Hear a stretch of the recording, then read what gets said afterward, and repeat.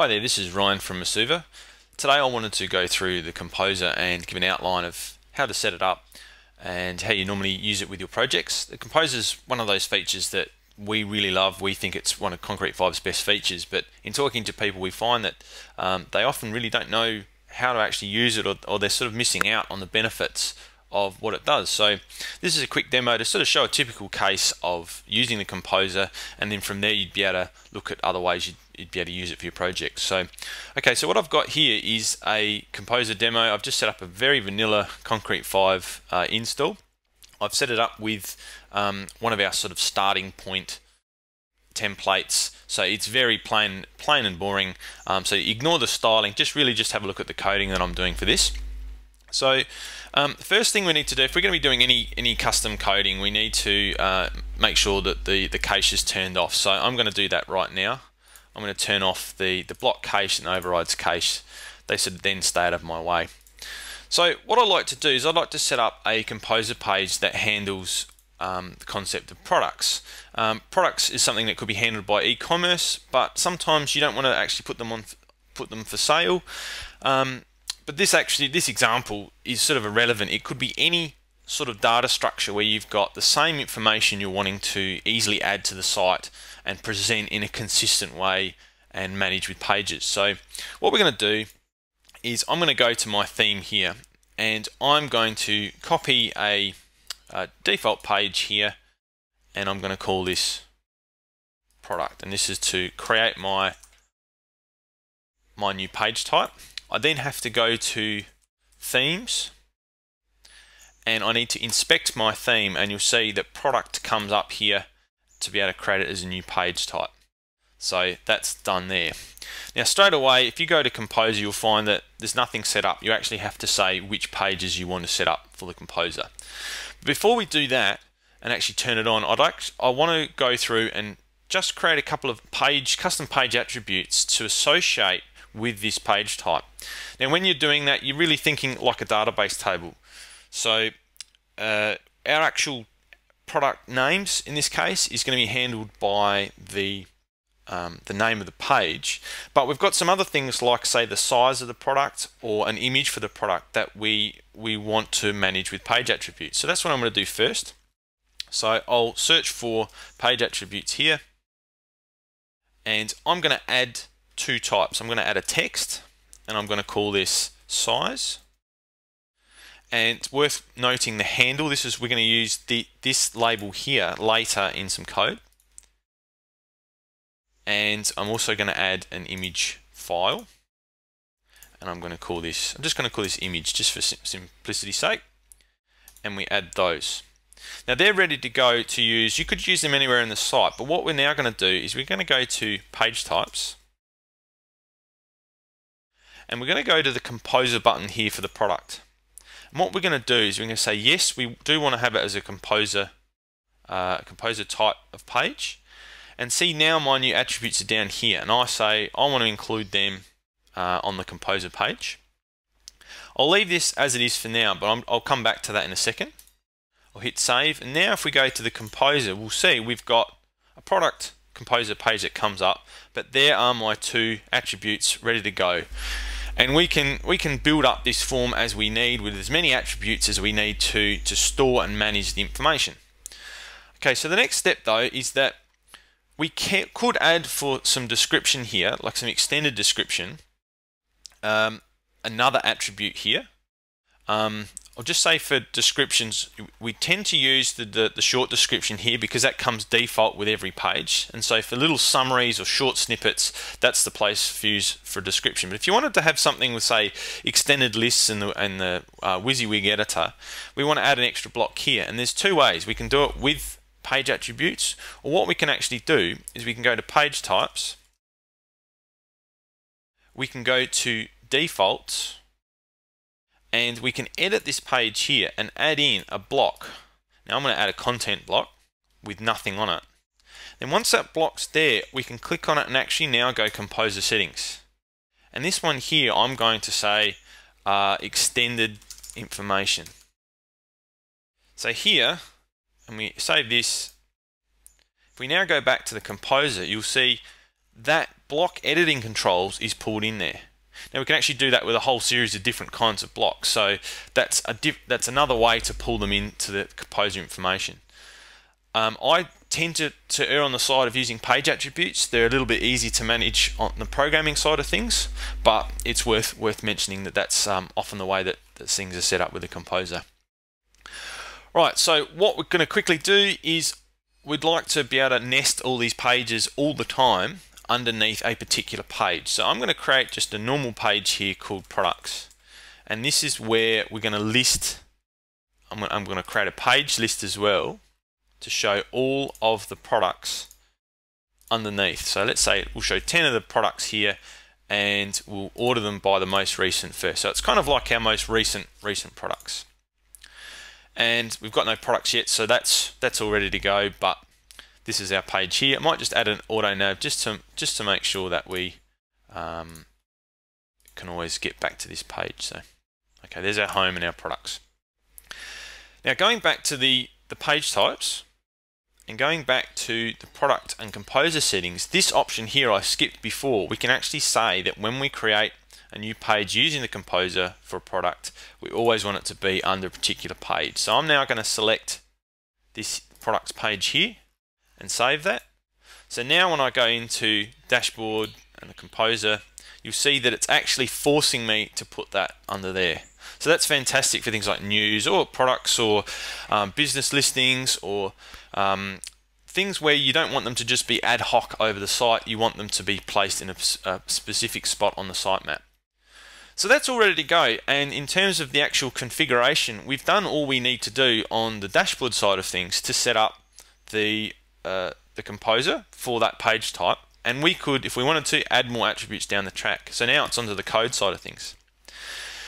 Now at the moment, our products page, let's actually just let's just add a, a product first because um, we need something to be able to work with. So I'm going to say a can of beans. And uh, I'm going to say this is a tasty can of beans. I'm going to say this is 250 grams and I've already uploaded some files. Well actually no I haven't uploaded. I'll upload a file to file manager and select that there. And I'm going to say um, uh, tomato flavor uh, do not put in microwave. And so I've got my, my WYSIWYG there. So I'm going to hit save and that's going to publish that page. Now you can see that that's pulled in the information from the, the, the block that we added, but it's missing the other information that we need. So this is where it comes down to editing this product page.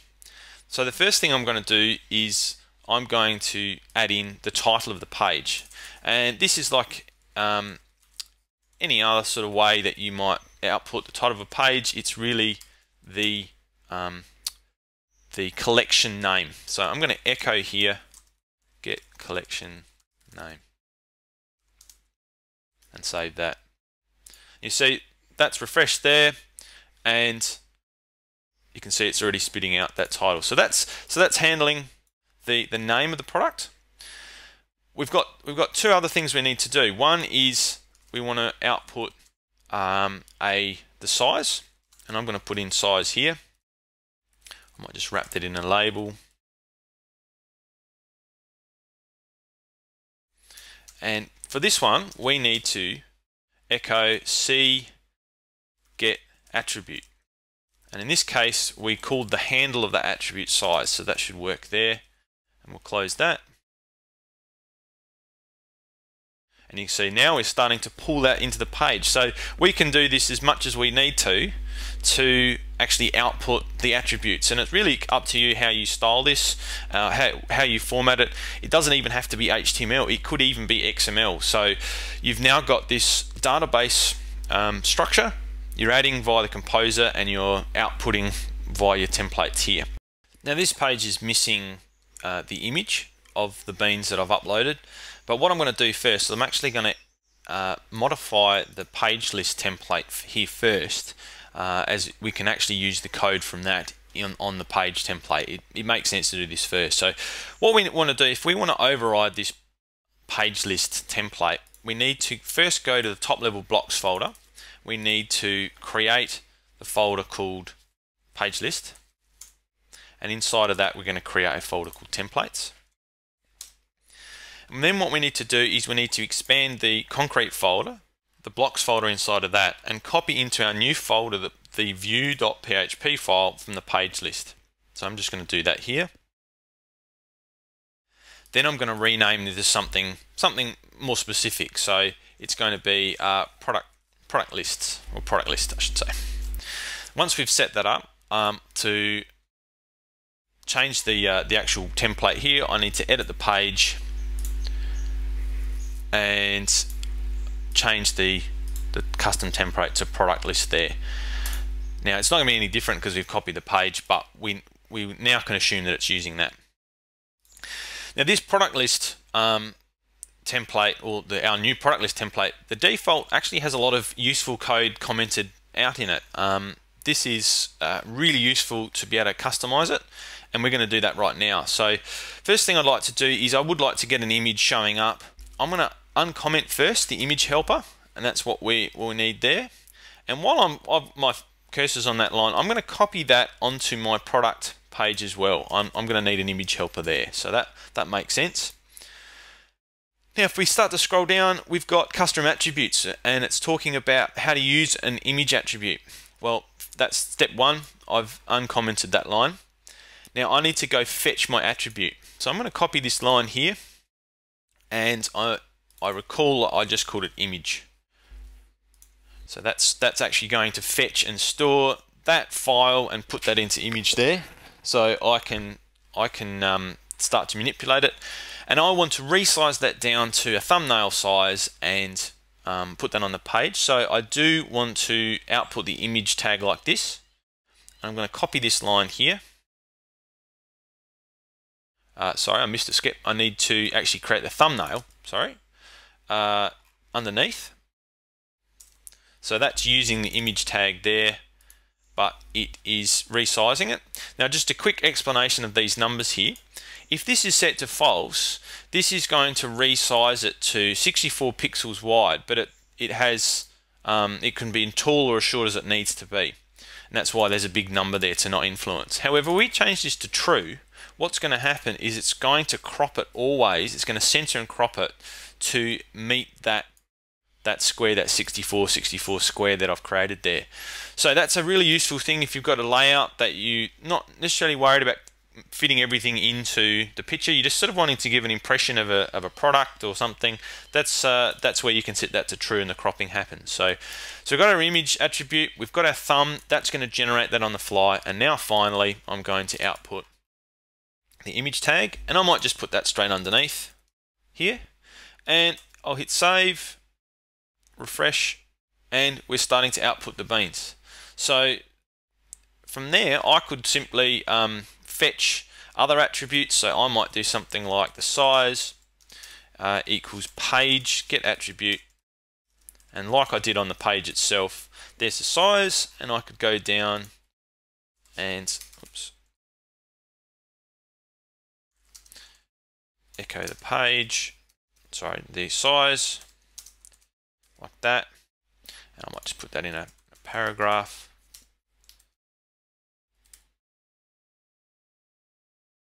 Like that. And refresh. So on the page list itself, we can output what we need or we can simply not exclude things. So this might be a summary here. It's already outputting this description and that's that little description there. But on this page, we're not outputting our, our block um, with our extra detail. So then we click through, we're getting the page itself. Um, we could put the description on here. So let's let's go back to our page, and I've got the size. I'm going to put in here.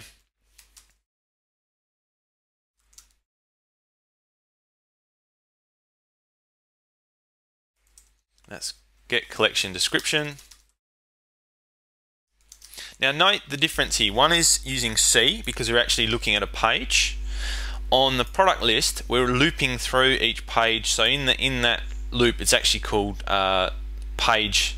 But the actual what we're doing with that object is exactly the same. We're just either getting a, a, a name, the description, or an attribute, from it and we're echoing it to the screen. So I'll finish that off and you'll see there's my description starting to spit out there. So finally we want to put the image on this page. So I, un, I put the helper in there. I'm going to go up and fetch my, um, my two lines I did to fetch and resize the image. And I'll put them up here. But I have to change that to, to C because we're talking about the page. And I might make this bigger and I'll go back out to say 200 and we'll not resize it and finally we'll output the image tag itself. So let's put that there. And there's a can of beans showing up on the screen. And we can do we can actually do lots of tricks here. If we want to do a light box and you know JavaScript we can uh, actually create two versions of that image there and do our, our lightbox linking. Now the last thing I wanted to show you with this though is there are there is an issue with simply outputting um, the information directly like this so for example I'll just quickly add a new uh, new product carton of eggs and I'm going to pick a picture of eggs.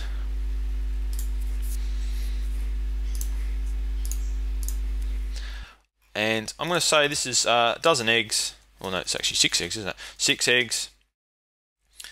And I'm not going to put anything else. I'm actually going to leave the size out for that product.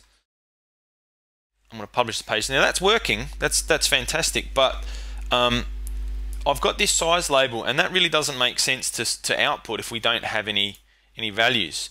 Um, we've got it outputting, um, we're not using, we've got the size here, we can't really notice that that's, that's not appearing there, but on the actual carton of eggs page, it's outputting a label we don't want. So what we're going to do is we're just going to adjust this code a little bit to to make it uh, make it check if that value is there.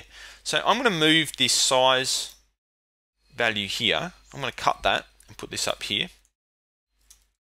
And I'm going to store it in a variable instead, like I did with the image here.